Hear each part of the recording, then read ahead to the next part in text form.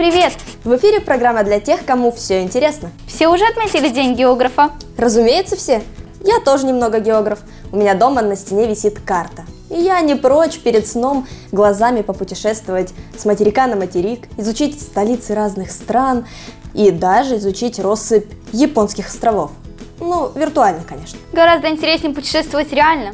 На машине или в самолете. А для этого стоит хорошо знать не только географию, а еще и языки разных стран. Само собой. А какая у вас, друзья, отметка по географии? Понятно. Повесьте дома карту. Это самый быстрый путь к пятерке. И изучайте языки. Смотрим анонсы. Анонс «Шифровка». Вода, масло и другие. Чертим маршруты. Кошки, ретро и мечты. В сегодняшнем анонсе много этих, как там в русском называется? Много однородных дополнений. Точно! Первый перечень звучит так. Вода, масло и другое. О, сразу вспомнился опыт. Если смешать воду с маслом, то они разделятся. А знаешь почему? Знаю, но не скажу. Потому что эти вещества разной плотности. Масло легче воды. И поэтому окажутся сверху. А что в анонсе означает «другие»? Что-то еще. И, скорее всего, не смешиваемое. Ртуть. Ее ни с чем не смешаешь, ни блендером, ни миксером. И не надо. Испарение ртути опасно для здоровья человека. Будьте осторожнее. Пользуйтесь термометром без ртути. Смотрим сюжет. Каждая картина не похожа на другую. И дело тут не только в манере письма художника, но и в красках. У каждой свой характер. Предлагаю познакомиться. Акварель мы знаем с детства. Аква значит вода. Рисуя, эти краски нужно разводить водой, а в финале ваш шедевр будет выглядеть нежно и полупрозрачно. Ее основа – красящий пигмент, а еще разные виды растительного клея. Существуют и виды акварели. Начинающим советуем медовую. Она безопасна даже для маленьких детей, потому что состоит из экологических материалов – красящего пигмента, натуральных смол, растительного клея, воска и, конечно, меда. Неожиданно, конечно, но приятно. Однако на вкус краски пробовать не стоит. Профессионалам больше подойдет акварель в тубах или кюветах. Чем больше оттенков, тем больше возможностей. Смешивая цвета, можно создавать сложные цветовые композиции и даже проводить эксперименты. Серо-буро-малиновый цвет. Почему бы и нет? И не забудьте уделить внимание бумаге. Обычный альбомный лист лучше заменить специальным для акварели. На нем лучше откроются все оттенки палитры, ведь бумага такого типа хорошо впитывает воду, и рисунки получаются намного аккуратнее. Гуашь. Многие относятся к ней снисходительно. Ее считают подходящей для плакатов и детского творчества. Но перед вами совсем не детские работы. Их авторы Пикассо, Матисс, Миро, Рубинс и другие художники. Гуашь универсальна. Ею рисуют на бумаге, древесине, ткани, стекле. Она быстро высыхает. А если нужно подправить нюансы, сделать это можно даже спустя некоторое время, поверх готового рисунка. Именно поэтому рисование гуашью – любимое занятие детей, начинающих художников и даже профессионалов. Получаются матовые, плотные, чуть бархатистые картины. Секрет такой фактуры – белила, сделанные из мела, водно-клеевая основа и пигменты, входящие в состав. Но гуашь бывает разная – плакатная, художественная и акриловая. Для детей и начинающих лучше всего подойдет художественная. А это масляные краски. Почему их так назвали? Потому что масло тут важнейшая часть состава. Чем оно качественнее, тем лучше готовый продукт. Делают такие краски из льняного, софлорового, орехового, подсолнечного и макового масел. Плюсов у масляных красок не счесть. За счет толщины и плотности мазков можно создавать объемные рисунки. Цвета не выгорают, а высохнув, верхний слой образует устойчивую к воде пленку. Так что картины, написанные маслом, хранятся веками, и ими украшены дворцы королей. Но сохнет такой шедевр довольно долго. За 5-7 дней образуется пленка, и только через год полотно можно считать готовым. Но это пустяки по сравнению с вечностью. Акрил для живописи используют недавно. Рисуют им на всем. Бумаге, дереве, керамике, тканевой основе, стекле и даже металле. Подойдет любая нежирная поверхность. Высыхает акрил быстро, цвета у него яркие и сочные, не тускнеют, не выгорают, и водой их тоже не смыть. Бывает акрил густым, жидким, глянцевым, матовым, блестящим и даже перламутровым. Потому и рисунки друг на друга не похожи. Темпера. Ее название произошло от латинского temperare, что значит смешивать. Это самая древняя краска на свете. Именно она сохранила для потомков шедевры живописцев эпохи Возрождения. В чем же секрет этого материала? В старину ее получали, смешивая соки растений, деревьев, молоко и желток. Теперь в дело идут пигмент, клей, вода и масло. Но высыхает темпера гораздо быстрее масла, долго сохраняет первоначальные цвета. После полного высыхания не смывается водой. С ней можно работать в самых разных видах живописи. Самая популярная – темпера ПВА. К основному составу тут добавлена эмульсия ПВА, всем знакомый клей. Идеальная краска для новичков, ложится на любую основу, позволяет легко переписывать одно и то же место. К тому же с ней можно использовать разные техники и приемы. А ведь это в живописи самое интересное.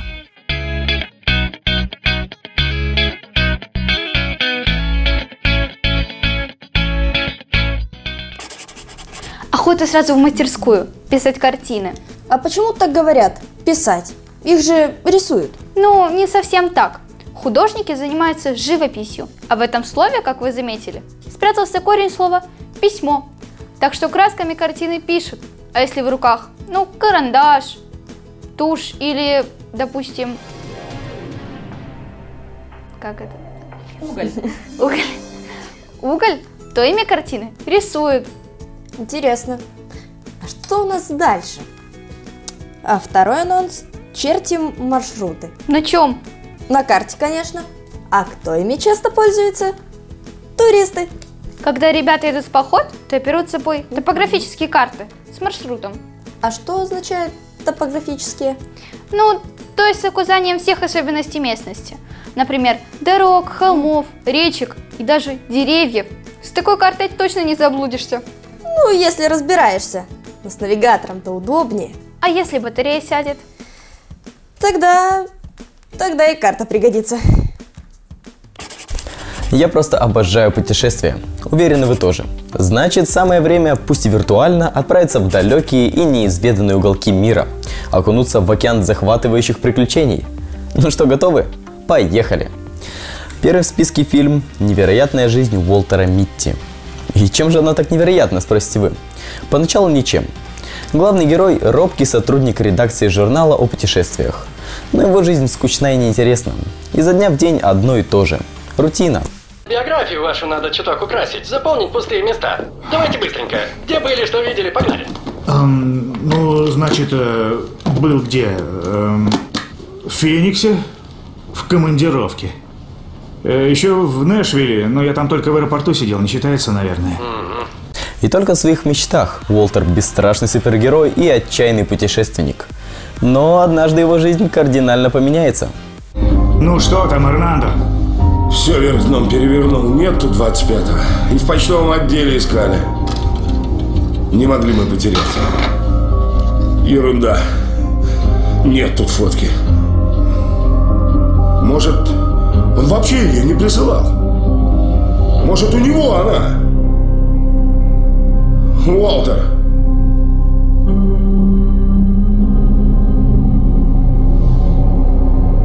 Что это за таинственный снимок и на что решится главный герой, чтобы его найти, узнаете, посмотрев этот фильм. А с героями следующего фильма мы отправимся в грандиозное путешествие. Вокруг света за 80 дней. Не верите? А зря. Кстати, фильм снят по одноименной книге французского писателя Жюля Верна. Если не читали, прочтите. А заодно сравните книжную версию с экранизацией. Ученый-изобретатель Филиас Фок, главный герой фильма, превратил свой дом в грандиозную лабораторию. Здесь он пытается совершить прорыв в науке и создать нечто полезное для человека. Ваш взгляд устремлен на то, что когда-нибудь станет венцом моих творений. Гигантский мотылек? Летательный аппарат. И он летает? Да. Э, э, Нет, но полетит. когда-нибудь. Люди смогут совершать на нем полеты. Быть может, перелеты через океан. Конечно, не все у него получается, а в Королевской академии наук Фок и вовсе стал объектом насмешек. И чтобы доказать обратное, ученый решился на кругосветное путешествие за 80 дней. Признайтесь, это невозможно сделать. Возможно, я смог бы. Предлагаю пари. А что из этого вышло и при чем здесь Джеки Чан и ограбление английского банка? Все ответы в фильме. И еще одна экранизация по книге Жюля Верна «Путешествие к центру Земли». Его любимая книга. Жюль Верн. Путешествие к центру Земли. Кажется, нам в школе задавали ее читать. Я ее не осилил. Очень плохо. Классная книга. Для Макса она была не просто научной фантастикой, а вдохновением. Эта книга, а точнее заметки в ней, станут отправной точкой фантастического путешествия. Как вы уже догадались, к центру Земли. А чтобы туда добраться, главным героем фильма, профессору-вулканологу Андерсону и его племяннику Шону, придется разгадать немало тайн. Десять лет назад отец Шона, Макс, пропал без вести в подобной экспедиции. Твой отец и я обсуждали существование вулканического тоннеля, который может проходить насквозь через мантию к центру Земли.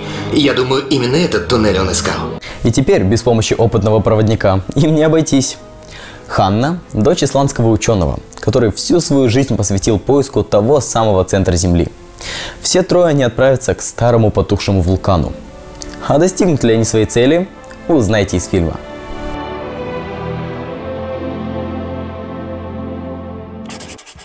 Да, до конца лета виртуально с помощью кино можно объездить всю планету.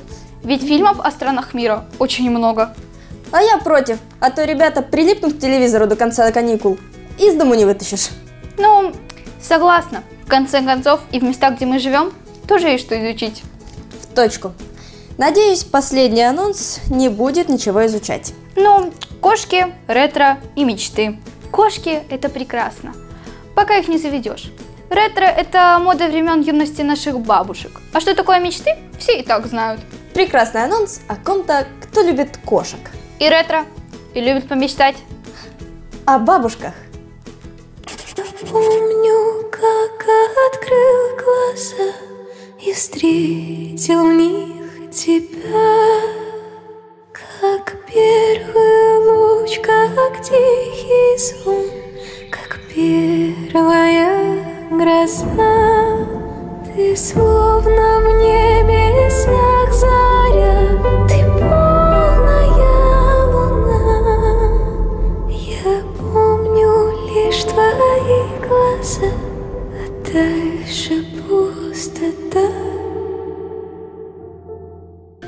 Она любит кошек, состоит из нежности, красоты, легкости, открытости и даже наивности.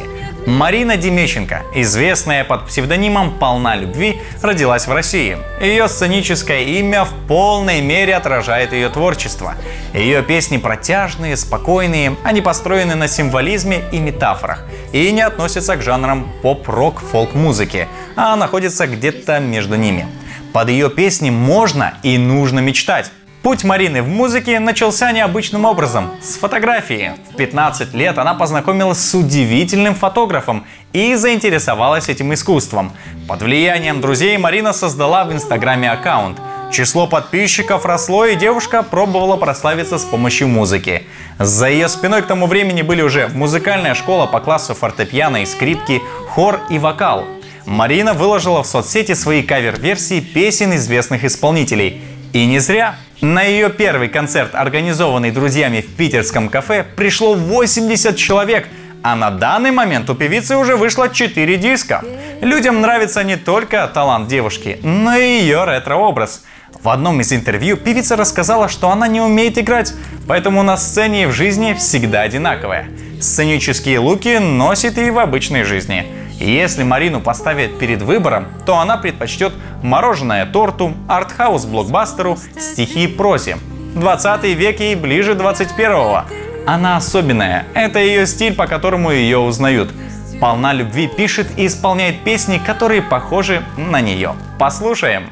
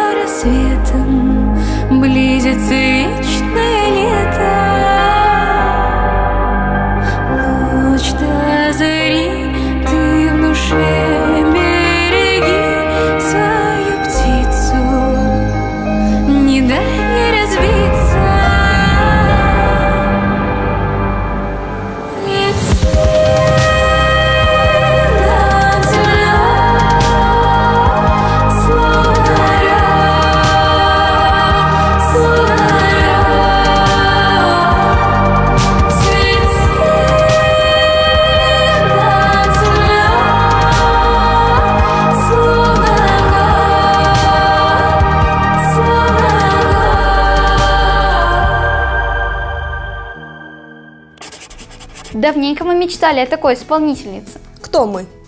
Ну, женская половина ведущих передачи. Очень любим романтику. А мне все жанры нравятся. Уж не знаю, кто выбирает исполнителей, но каждый новый музыкант всегда неожиданный. Оригинальный. Что будет дальше, узнаем в понедельник. А программу вели Оля и Дарина. Смотрите нас в эфире и на ютубе. До встречи! Пока!